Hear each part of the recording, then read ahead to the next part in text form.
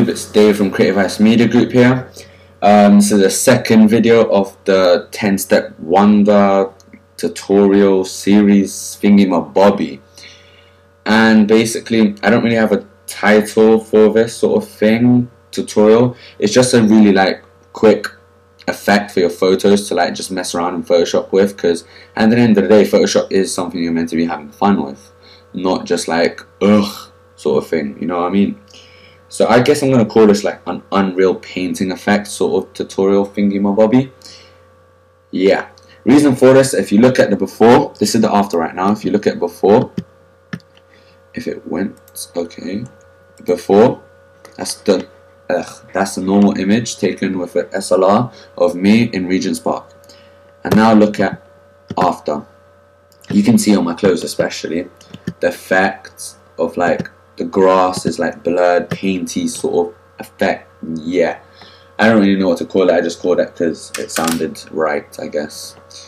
And it's really easy to do.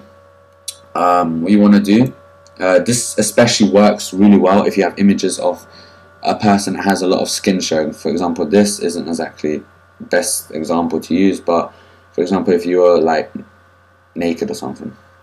Yeah. Um, Alright, let's get at it. Step one, you're going to want to duplicate your image by dragging it, let go, bang, duplicated. We have twins. They just had sex and produced twins.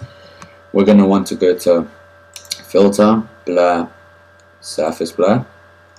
And this is really depending on your photo, okay?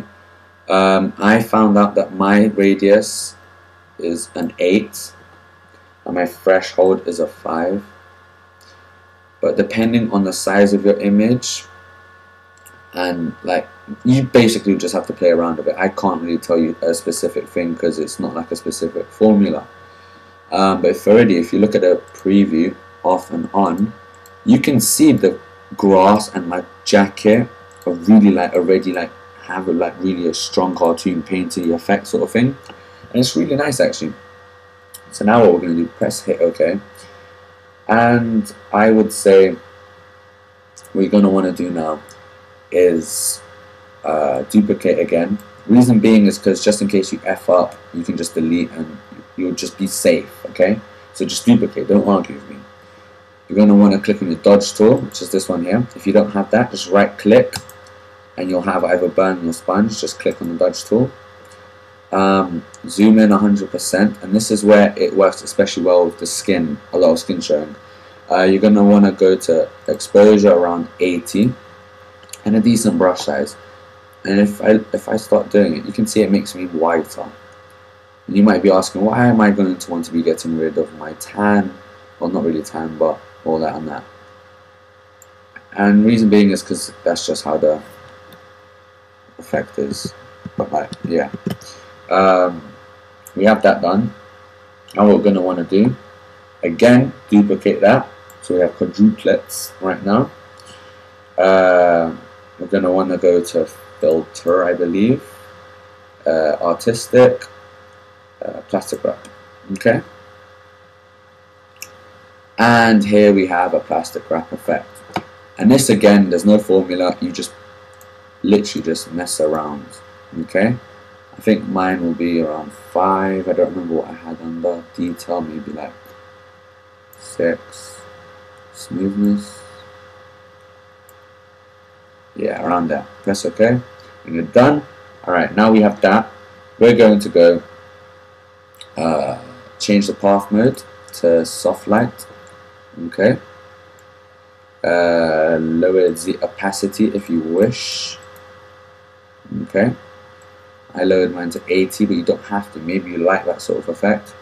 And you're going to want to with your eraser tool just slightly start erasing where you don't like the plastic effect. So for example maybe I wouldn't want it on my face for example. Uh, I do I don't mind actually on my face so I'm going to leave it. But if you didn't want it you just erase the bits you don't also another little tip is if you remember I just said do it on soft light Another nice one is overlay. Um, so just choose whichever one you want. I'm using soft light, so you better use soft light as well, I believe. Okay. And the thing with this effect is you'll have a different sort of um, end result each time. Like I kind of preferred my other end result the time before, but that's only because like